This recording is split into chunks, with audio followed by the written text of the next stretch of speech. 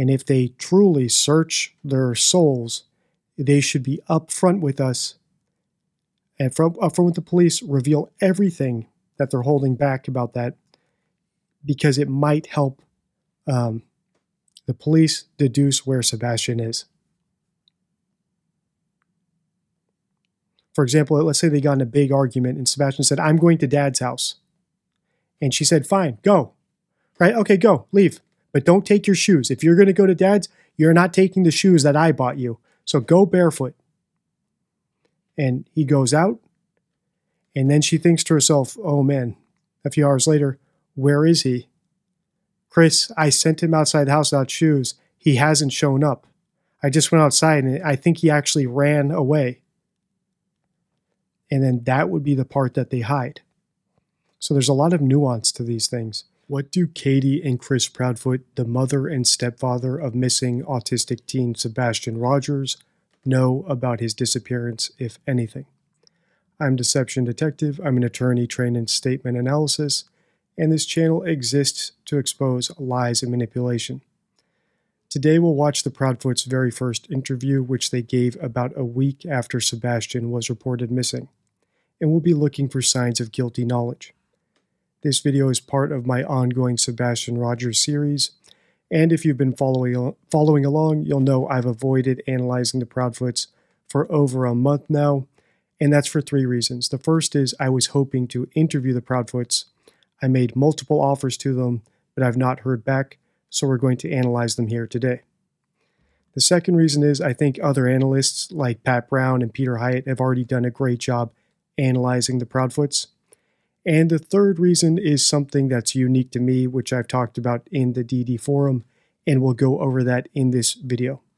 Without further ado, let's listen. Can't even imagine as a parent what you two are going through. How would you describe the situation right now? How are you coping? um,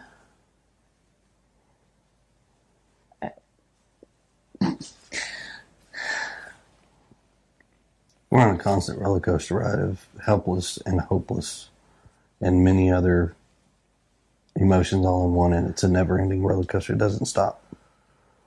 It won't stop until he walks through the door. I wouldn't wish this on anyone.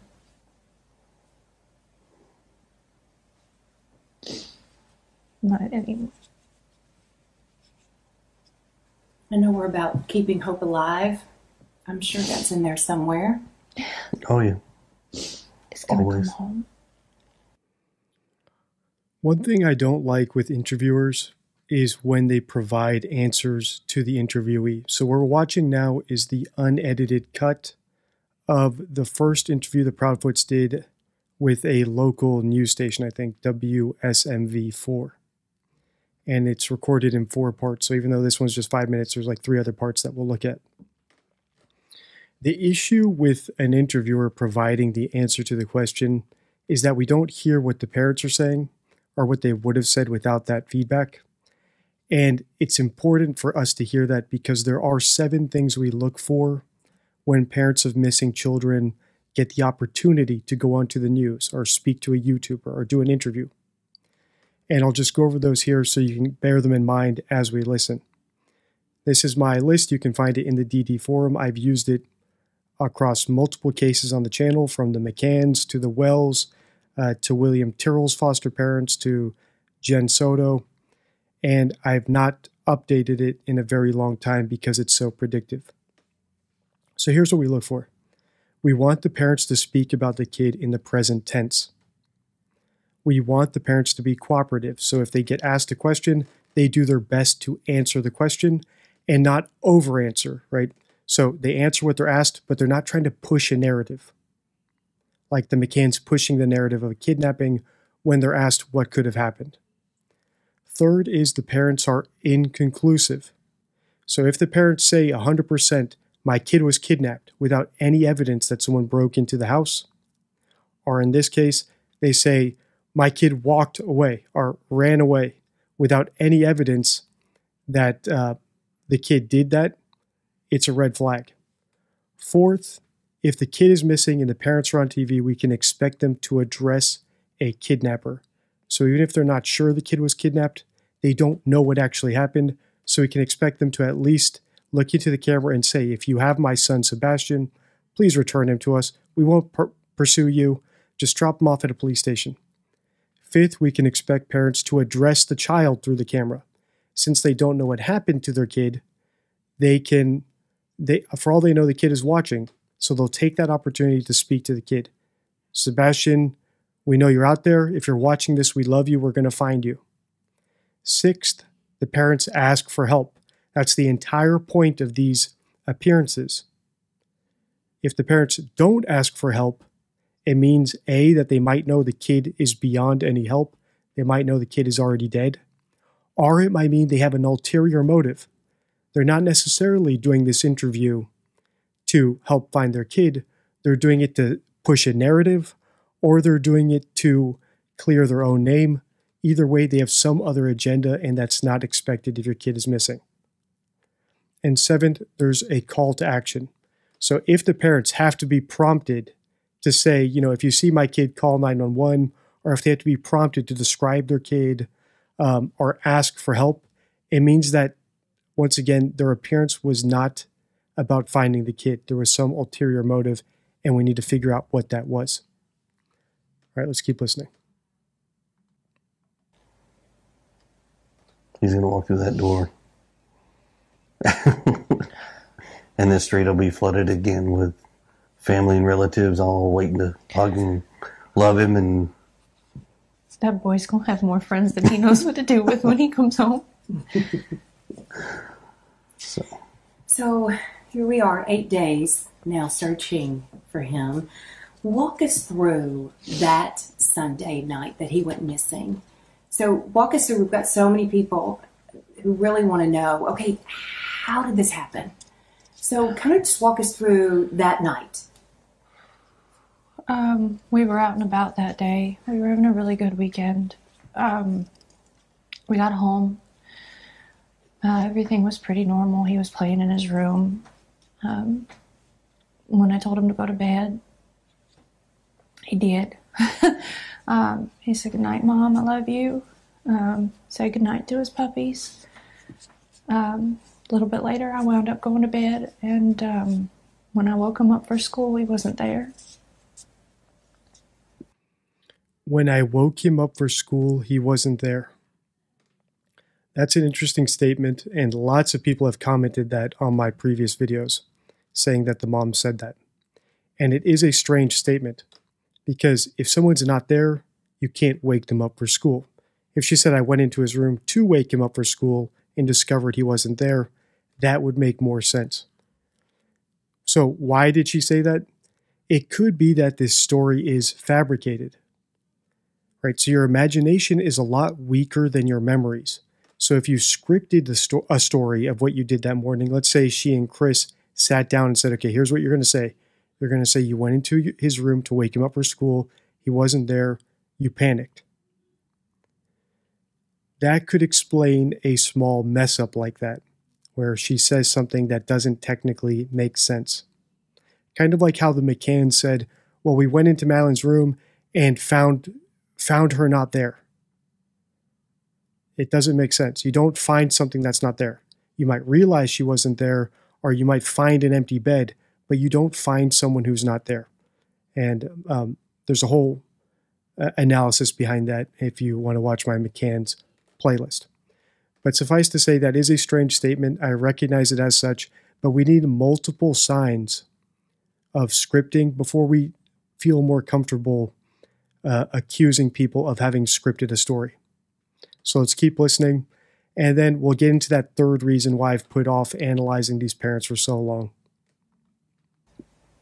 So in your mind, what, that's usually around what time? Six, when do you normally wake up? Around six o'clock? Six. So were you instantly thinking something's wrong, or were you like he may just be already in the shower I took a in the living second. I took a second and walked through the house looking for him in case he'd gotten up and was trying to get breakfast or something because he did that sometimes. Um, about three minutes in, give or take, I was on the phone with my husband. I said, I can't find him. Um,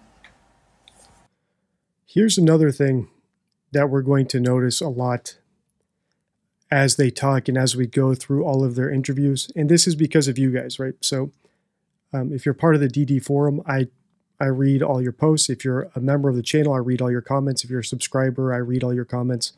And lots of people have pointed out to me the number three. Lots of uh, the times or locations or amounts that the Proudfoots talk about involve the number three. And that is an important detail. And three is actually known as the liar's number. So I'm going to read you that card from the deception deck. If you're not familiar, the deception deck is my 52 favorite rules for spotting lies and deception.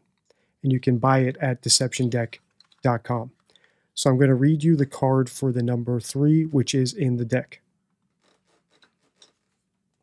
Here's the card. Each card in the deck is a flashcard, so it has the rule on the front, and then on the back, it has the explanation of the rule as well as a real world example. So this is the card for three. And I'll just read you the rule. Liars often use the number three in their statements. If a statement includes a three, like 3 p.m., third floor, $300,000, three minutes, it might be fabricated. The reason why people use the number three is unknown. There's lots of different studies into why that happens. But for us, for our purposes, it is a human phenomenon.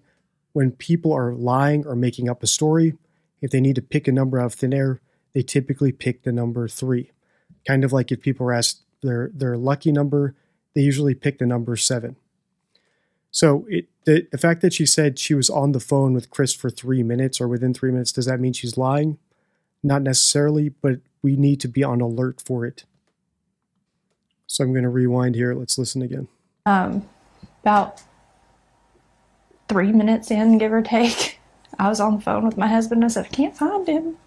Right, so three minutes in, give or take, I called my husband. Does that mean she's lying? Not necessarily. It could just be she's guessing about how long it took, right? So they don't people don't actually have to be trying to deceive you to pick the number 3, but it does tell us that she's being a little bit loose with the facts. She's not doing her best to be specific unless it literally was 3 minutes. And the way she said it sounded like it was a guesstimate. So this could either be fabricated, like she took longer to call Chris, or her call with Chris was scheduled ahead of time. You know, something happened Sebastian the night before, and she and Chris spoke, and he said, "Okay, at this time you're going to call me." Um, so she's saying, "Yeah, it took about three minutes to look for Sebastian because she wasn't actually looking for Sebastian. That's possible."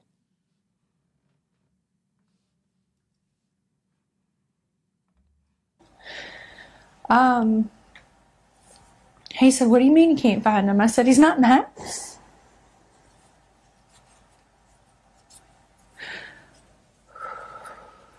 And so at that point, is that when you call 911 or what's going through your mind? She, while we were on the phone, and I was, I was like, is he on the other side of the bed? We, the normal places he may be in the house, you know, and he wasn't. So I was like, okay, well, hold on a minute. And immediately after that, we called the sheriff's department and made the report. I And- ran all over the house, outside, inside. I looked in every closet.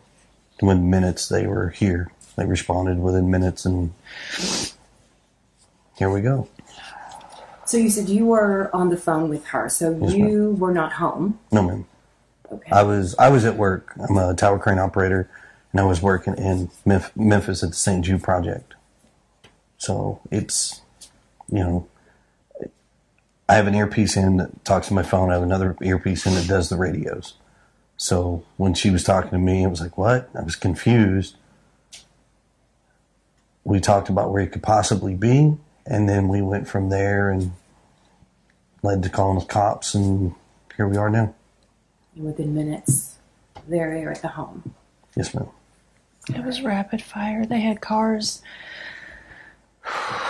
They They had cars from here down to the to the main road. road, as far as I could tell. So what's going through both of your minds? I mean, are we panicking? Is it oh, this, oh, I think he's probably at a neighbor's house, or what are you thinking? My son doesn't run. He's not a runner. He's never run away. This is another interesting statement that I've seen brought up a lot. My son doesn't run, he's not a runner. It's a very specific denial. So, first of all, okay, fine, he's not a runner, but could he have walked out the door? Could he have been pushed out the door? I know that uh, Peter Hyatt has a theory that they locked him outside as a form of punishment, and then he might have wandered off or something happened to him.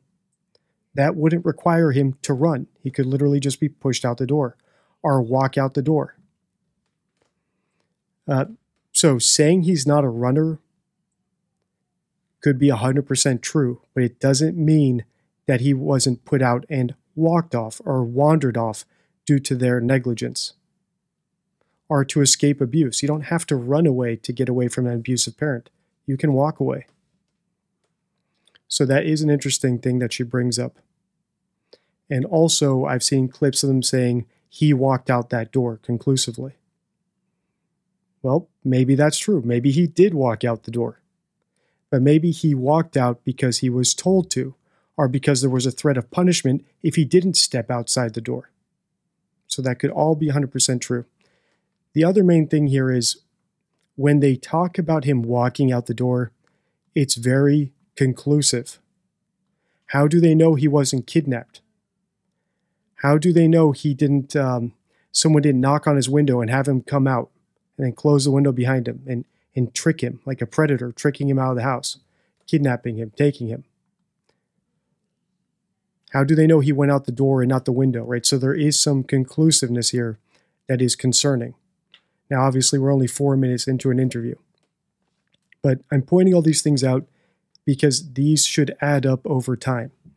If we see them fail all seven of these things on our on our checklist, we can place more chips on our bet that they know what happened to them. Way before. Um,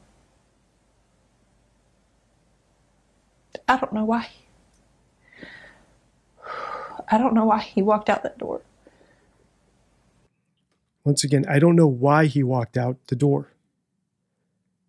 But how does she know if he walked out? The question should be I don't know what happened to him. She doesn't know why he walked out the door. She but she does know if he walked out the door. And this is where Peter Hyatt and Pat Brown's analysis makes a lot of sense to me. Um, and I recommend subscribing to their channels. I've recommended both of them to my in my member section for a very long time because I think they do great work. I personally have put off analyzing these parents myself, however, because of the way that I approach true crime and the sort of Bayesian thinking that I do. So let's wrap up this first segment and then I'll go over that um, and how I think about these things, and also how you can use Bayesian thinking as a tool to make better decisions when you're analyzing suspects, but also just better decisions in general in your own life. I mean, he's a good kid. He's not. He's not a mischievous child by any means. Um, but there's answers to questions that have no answers, you know, or questions, excuse me, questions with no answers right now that we are searching for desperately. And we just don't have that you think back and th- there might have been a reason he was possibly upset or something outside that could have enticed him to go outside. Was there anything that came to mind? We've been combing over that day and even the weeks before he left, and I don't, I haven't been able to figure it out.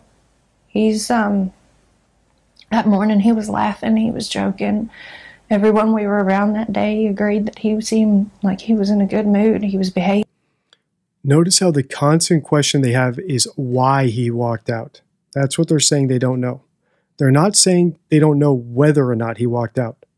So I think it's safe to assume they know for a fact that he walked out that front door. And the question is, of course, did he walk out because he wanted to be a teen runaway or because he was being abused or because he was pushed outside as a form of punishment? I think that's what this all boils down to at this point because they seem certain that he walked out the door. Now, could they be hoaxing? Could they be saying that, that he went out that door because they did something else to him and they want us to believe he walked out the door? Yes, But the fact that they're slipping up by saying that they know he went out, they just don't know why, seems to indicate that they're trying to hide the fact that they know for sure he went out the door. Behaving. It'd make more sense if we'd been fighting. Or he'd been in trouble, but he hadn't been in trouble. so, I mean, the million dollar question why did he go? And the other million dollar question is how. What about social media? Is there anything that you know anyone he could have contacted? I understand he was somewhat of a gamer, or what was he? There was a video game he loved, right? There's- Minecraft. He loves Minecraft. Um, the the game that he has is not online. He has the the um, Switch. Um, he's we don't because of how social media can be. He doesn't have accessibility to communicate with folks on the internet. on internet. I mean, I we have a firm belief that we just don't feel that right now that he's capable of having that kind of responsibility. So, I mean, he his phone is locked down, his computers, his game. He doesn't have a gamer tag. He doesn't have online capabilities with games. Um, I mean, We've um, we've combed every electronic, every electronic. I mean, we've cooperated with all the authorities as far as anything they've asked us to provide. We've provided. So far, they're speaking about him in the present tense. They seem to be trying to be cooperative. They are a little bit conclusive about him walking out that door. So they have zero curiosity about whether or not he was kidnapped or or went out the window or did something else. Which is why I think they know for a fact he went out that door. It's just about figuring out why that happened. They've not addressed any potential kidnappers. They've not addressed him through the camera yet. They've not asked for help and they've not done any sort of call to action yet. And that might just be because they think this portion of the interview is background. But I think the actual interview that was shown on the news was clipped from this. and still just don't have any answers. Did he have any friends that could have possibly contacted him in some way on his phone? All his friends at school have been questioned to my knowledge, and none of them knew anything. So this big question mark. He's vanished. Yes, ma'am. and no one can figure out where or why. Um, all right, so let's talk too about the relationship involved because they're the biological father is very much involved in Sebastian's life as well, Yes, ma'am. He Very much. right? Um, and and how would you describe? If you've not followed along on this series, I have analyzed the biological father, Seth Rogers, in my video, How to Tell Innocent from Guilty. We analyzed him along these exact same criteria, and he came out squeaky clean. describe that relationship, the two of them, and the four of you. It's relatively good. I mean, we talk regularly. He talks to his son on a regular basis, sees him on a regular basis. He's involved in school and therapy, and um, I mean, he doesn't have any extracurricular activities, but I can tell you now, if he did, he'd, his dad would be in the front row. um, I mean, two different households, and the communication between the three of us is is great. I mean, yes, we're just like every parent. We all have our disagreements, but in the end, we come together as a team and we work and we come up with solutions that as we best see fit. I mean, he's I'm almost in contact with him almost daily. Let's talk about Sebastian. Tell me about Sebastian. How would you describe him? sweet, stubborn. um, he loves to help. He loves uh, running, and he loves to play his games and his fidgets and um, Uno. Lord, that's one of his favorite games right now. Um, favorite color is green. Does he love music? Oh, God, Oh. he loves music. An eclectic taste.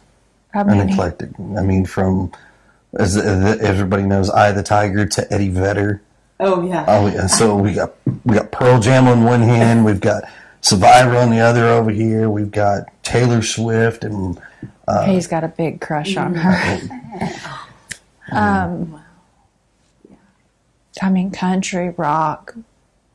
no hip. Classic. We don't we don't allow the hip hop. Well, he, he doesn't really Well, I get say into it anyway. rap and things. We You mentioned he loved running. So did he love the outdoors at all? I mean, would something outside that was somewhat outdoorsy be So Chris says that they don't allow hip hop. He also said that the phone was locked down, no internet. So they seem like strict parents. enticing to him or pulled him outdoors? He loves like when um, when we were in California and the school had this lap thing to gain money. It was a fundraiser, and every year he was.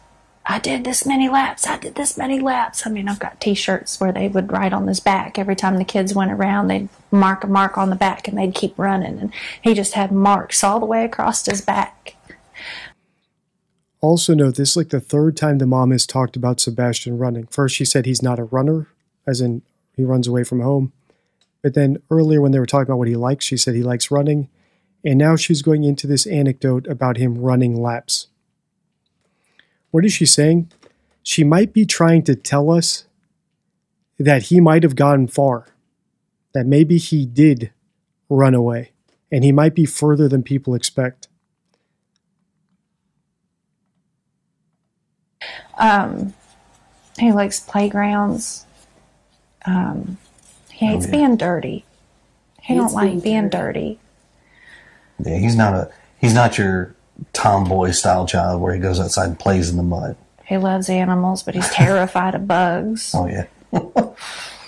Wow. Okay. I mean, Yeah. even a fly, and he's like, "Oh!"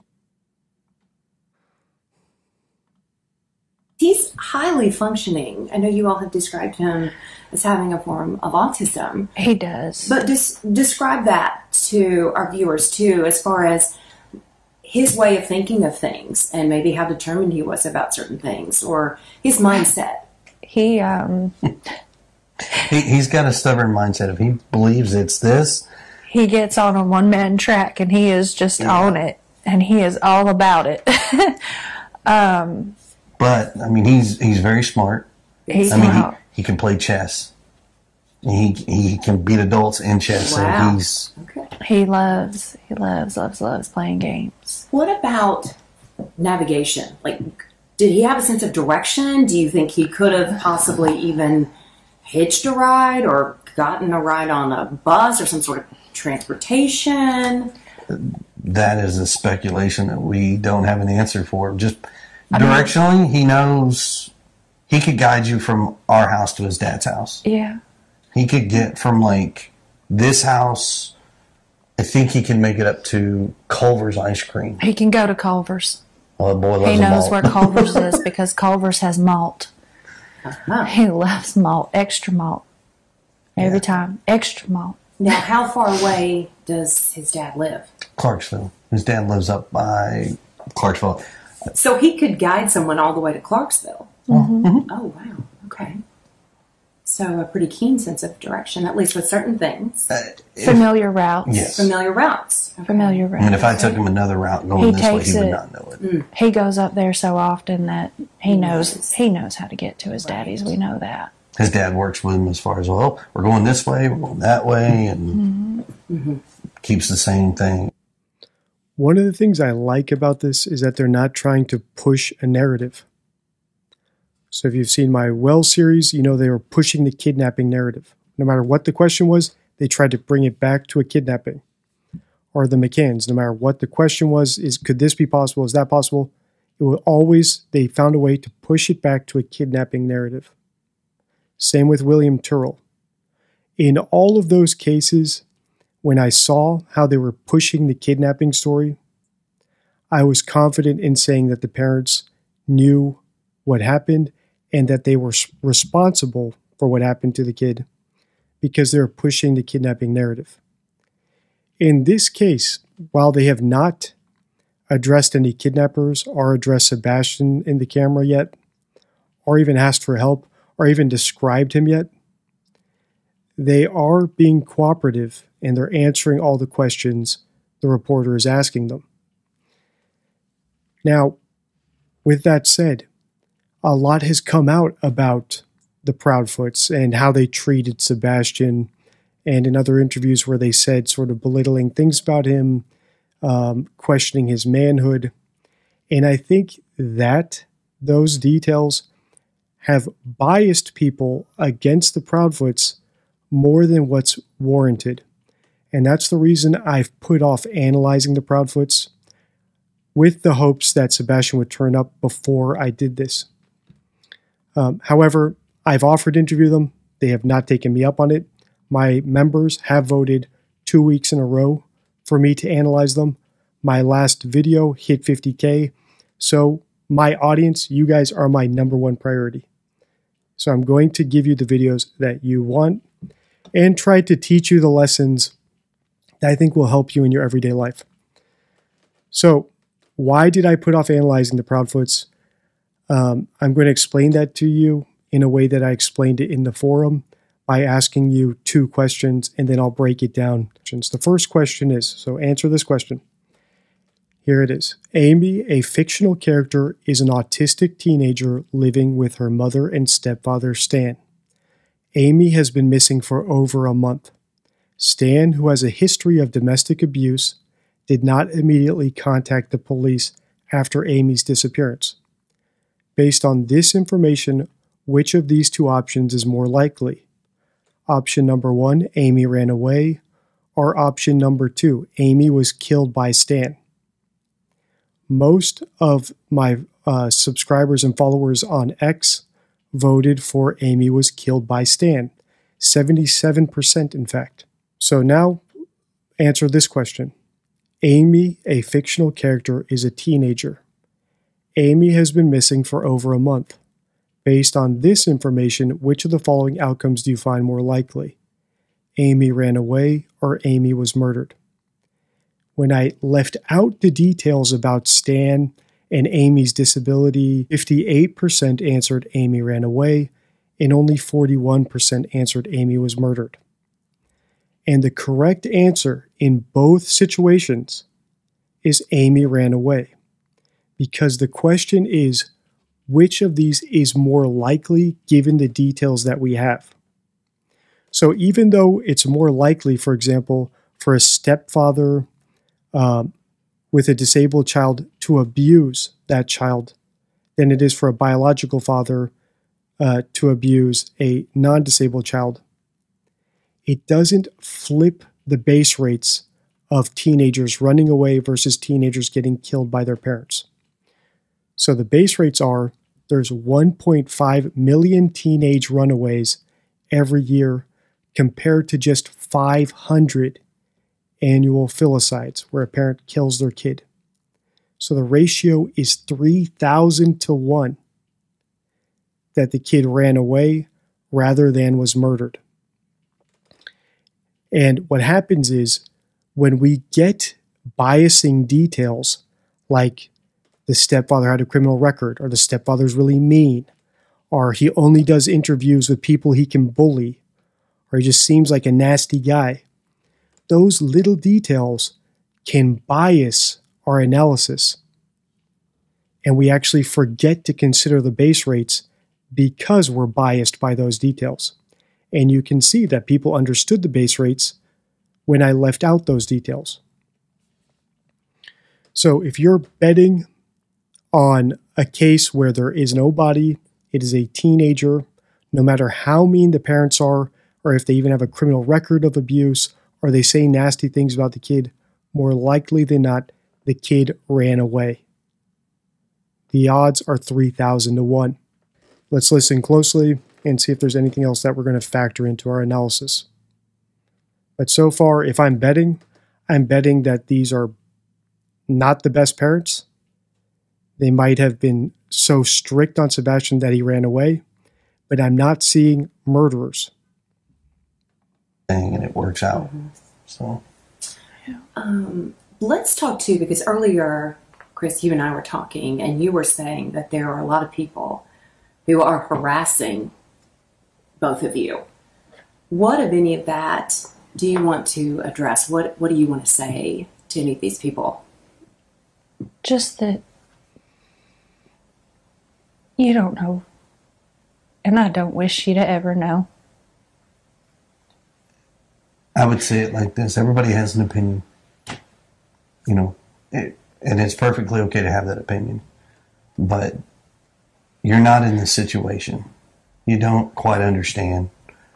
Um, I wish people would step back, take a different, wide open view, and not assume what they know. It's just better to stick to the facts. If they have questions, all they have to do is ask. And I pray genuinely that no one ever goes through this. just be kind to people. I mean, that's it's real simple. There are some people who have been talking because I know this is part of the harassment. Um, is there anything you want to address about this child custody situation with the previous? So I have a, a current case that is going ongoing in another state. So, this is the type of information that can bias even intelligent people, right? I know I have the smartest subscribers. I know I have the smartest followers on X. When I wrote this question, I included these details because I knew how powerful these details are. I knew they would bias even people who have watched all my videos. Right, so I wrote this article while these polls were still going on. I predicted the results. And I personally also have to work hard not to be biased against people. Um, we've requested that case to be sealed because there are some individuals who have taken upon themselves to put stuff out there that they don't quite know, which all they have to do is ask. I'll tell you. Um, but because of that, you know, it has nothing to do with our son. It has nothing to do with the situation. You know, it, I just people would respect that and then keep an open mind. It's totally different. If Sebastian is able to watch this, and maybe he's watching this as it airs, I wish the journalist hadn't brought this up. So now when they talk to camera, it's because the journalist suggested it. I wished I wish the journalist had done something like, is there anything you want to say? Because we will broadcast this on the news. And then wait for them to turn to camera and speak to Sebastian on their own.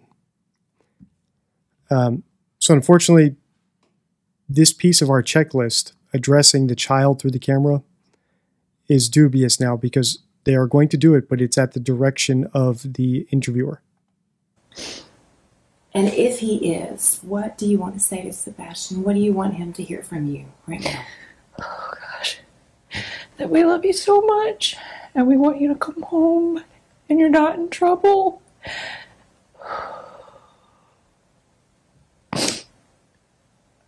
I guarantee you he is loved. And trust me, the open arms are waiting for him to come home. From every parent to every family members to So notice how Chris doesn't include himself there, though, right? The, the open arms, passive. The open arms are waiting for him, not my open arms. So do I think Chris had a great relationship with Sebastian? No. Could the relationship have been so bad and so abusive and so strict that Sebastian ran away? Yes. In fact, could the relationship uh, have been so bad that it could amount to abuse? It's possible. But these are not looking like parents who killed their kid and are now, now trying to push a hoax about him running away. It's looking more like parents who were extremely strict on their kid and either compelled him to run away or suggested he run away and are okay with him running away. Um, something along those lines. And just like the Summer Wells case, we need to narrow it down over time. This is just the first interview of theirs I'm analyzing. With Summer Wells, we came up with a very, very uh, sad conclusion for what I think actually happened based on the interviews. Here, hopefully, we come to a more positive conclusion that Sebastian ran away and has been hiding somewhere and is going to reemerge. To probably everyone in the community. But there's no malice that we just want our boy home. Bad. Bad. But that mama's heart. I know it's daddy's too, but I feel like there's always that extra special bond. Can you walk us through what you're thinking right now? I just want my baby to be okay. I don't know where he's at. I don't know where he's at.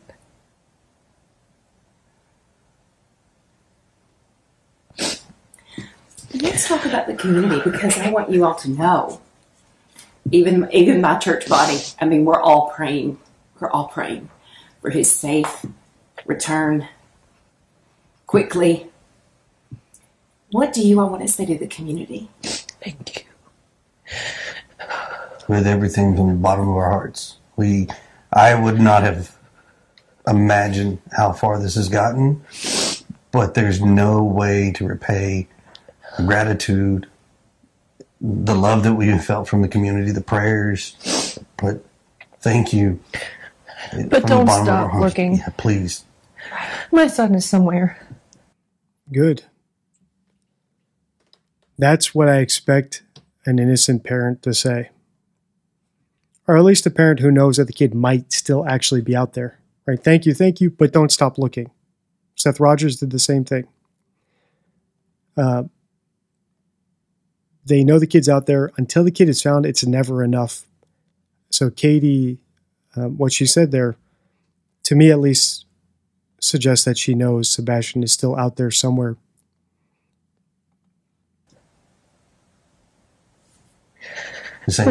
And their greatest sin at this point, and any deception that we're detecting, could be that they are hiding the reason Sebastian went out the door.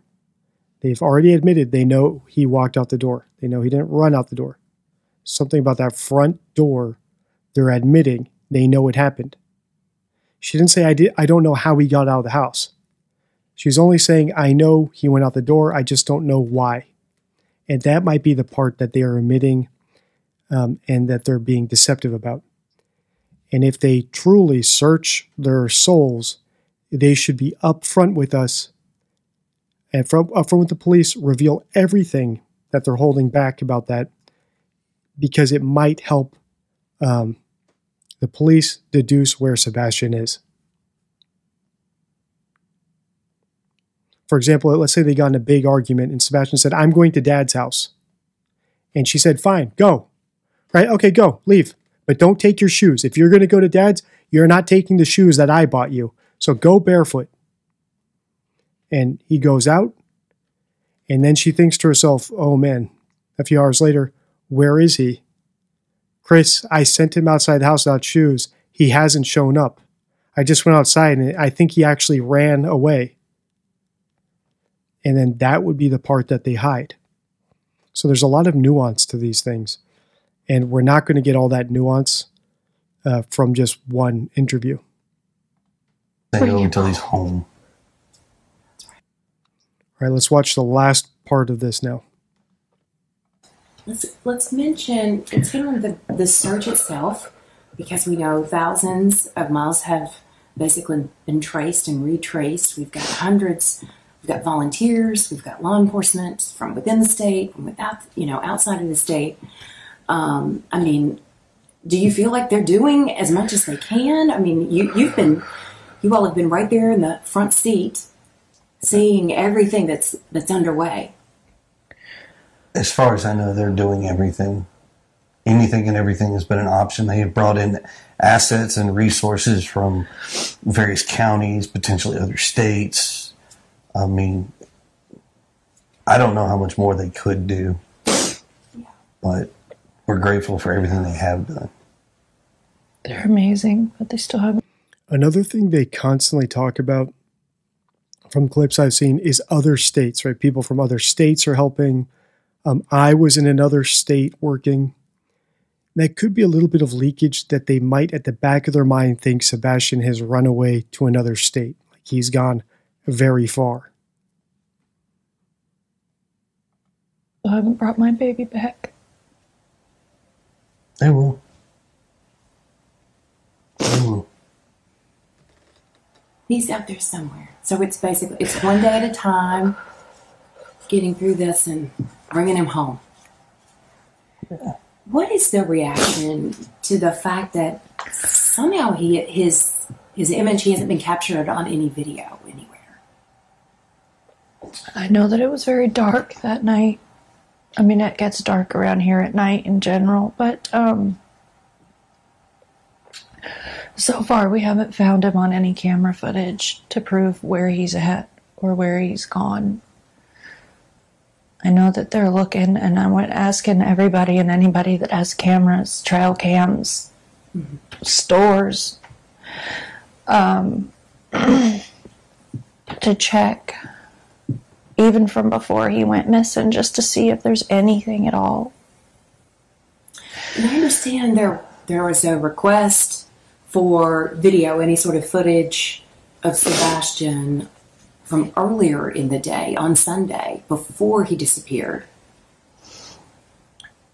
That I don't believe we can comment on right now. I don't, that is not something that I believe we're privy to at this point with law enforcement. That is something I would I would definitely direct back to them. But I mean, they, there's all kinds of requests out there. There's thousands of hours of video that they are combing, and we're just hoping they'll find something. And I know this is so sensitive.